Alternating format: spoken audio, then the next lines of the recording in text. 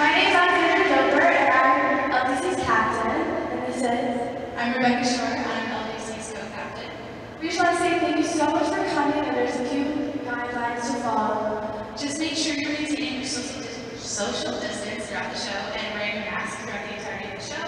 If you need to get up and leave, make sure it's in between dances just for the courtesy to our dancers. In addition to that, there's no flash photography during the show, however, you can take pictures or videos without the flash, just so you don't distract our dancers. So thank you so much, so much for coming, I hope you enjoy the show.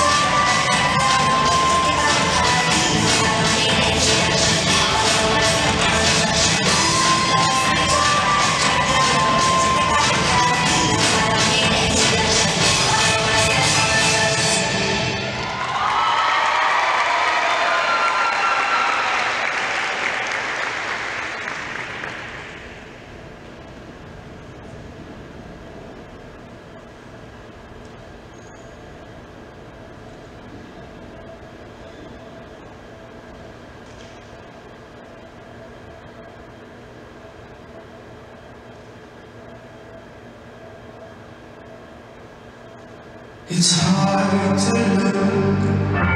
It takes a lot of courage to see.